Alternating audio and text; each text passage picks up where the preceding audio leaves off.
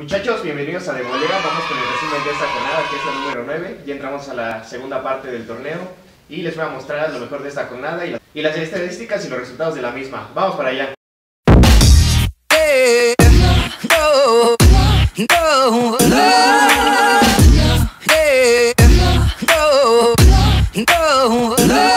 Vamos a empezar con el partido de con el partido de Puebla en el que los Lobos estuvieron recibiendo a Veracruz, un partido muy muy importante en el tema del descenso. En ese partido yo pensé que los dos conjuntos iban a entrar con muchísimas ganas, pues estaban jugando el descenso, pero parece que solo Lobos entendía eso. Veracruz lo jugó como un partido mal y ese fue el error de ellos. Lobos jugó con muchísima garra, fue un partido muy movido desde el primer tiempo, Lobos atacó y atacó. Veracruz produjo algunas, como es natural en el fútbol, pero ellos no estaban mostrando la iniciativa en el partido.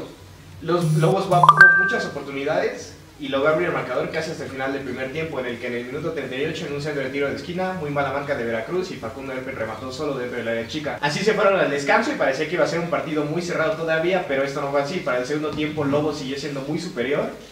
Y al minuto 55 llegó el segundo gol en una jugada muy buena de los Lobos en la que rebataron y Meritón escupió el balón dos veces y terminó siendo anotado por el cuadro de los Lobos. Posteriormente, por ahí del minuto 60 en una jugada la defensa de Veracruz se durmió y con un pase por detrás de los defensas quedó, solo un jugador de Lobos que definió el 3 a 0 antes de que entrara Quiñón. Ya después al minuto 83 un centro flotadito al área chica que remató que remató muy solo el delantero de Lobos WAP, puso el 4 a 0, parece que así se iba a quedar.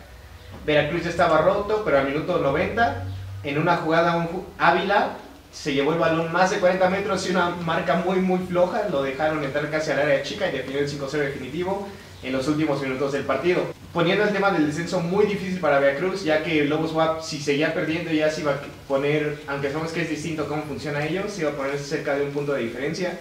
Y ahorita, si lo tomamos en cuenta, sí, ya estaría a 7 puntos de diferencia prácticamente.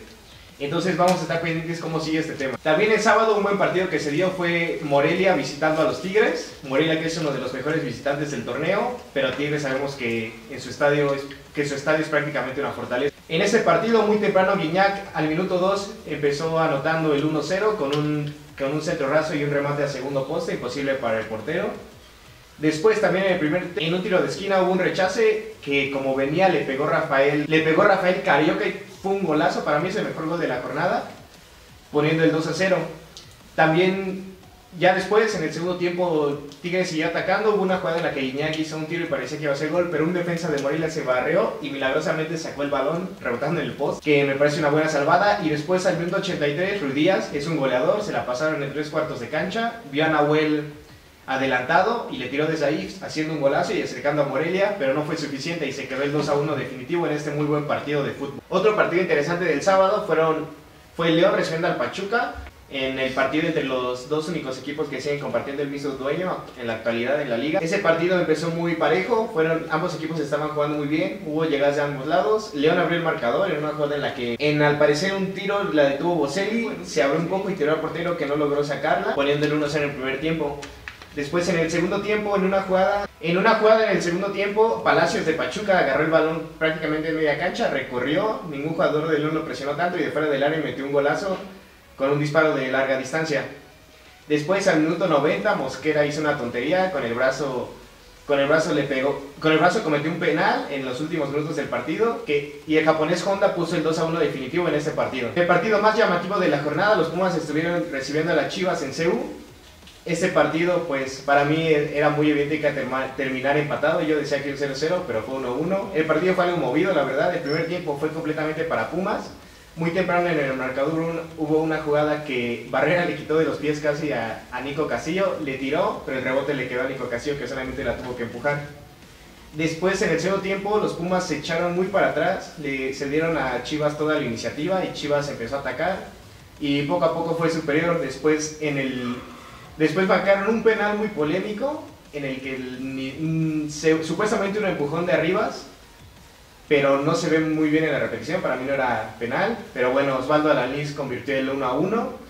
Y después en, los últimos minutos del partido, un centro que, se le, te echa al pollo Salívar y un, y un defensa de Pumas alza la mano y le pega en un penal clarísimo, inobjetable, no pudieron hacer nada los de Pumas, después, en la, después reclamando arriba se ha expulsado por ese penal, pero Osvaldo Alanís no lo pudo fallar, en el- en- prácticamente la última jugada del partido, el penal que hubiera dado la victoria de las Chivas y pues se quedó un empate 1 a 1 en el, en el primer partido. En los otros partidos que no mencioné, el primero de ellos, Puebla empató 1-1 contra Necaxa. Monterrey le ganó 1-0 Atlas de visitante. Monterrey que tuvo dos penales y falló uno, pero finalmente logró meter el otro. Toluca le ganó 2-0 a Querétaro. Esto igual Toluca de visitante. El América empató 0-0 con Cholos, un partido muy un partido muy flojo. Los Cholos se cerraron muy bien y la Ju tuvo una muy buena actuación. Y en el último partido de la jornada, eh, Santos le ganó a Santos le ganó a Cruz Azul. Bueno, de este lado les voy a dejar la tabla del torneo. En este momento está muy muy cerrado. El, desde el segundo lugar en puntos al doceavo hay dos puntos de diferencia, lo cual es muy cerrado. Entonces, pues prácticamente todos los equipos tienen posibilidad de aspiración a liguilla. Y vamos a ver cómo se sigue desarrollando. Y en la quiniela, el Knicks esta jornada lo hizo muy bien, la verdad nos sacó mucha distancia a todos los demás.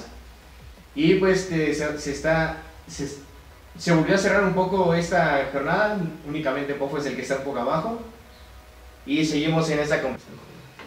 En cuanto a la liga femenil, hasta este momento solo se han jugado tres partidos, los cuales ha ganado Pumas, Cholos y Chivas. Y en ese momento la- los grupos, en los grupos en primer lugar están respectivamente América y Guadalajara, aunque falta Monterrey que con un empate se pondría en primer lugar nada más. Y bueno, eso fue todo por, e- por este video de volea, espero les haya gustado, si fue así ya saben pueden suscribirse y darle like, me serviría mucho. Y nos vemos hasta la siguiente semana, adiós. Y regreso nada más para recordarles que, que la abuela se sale.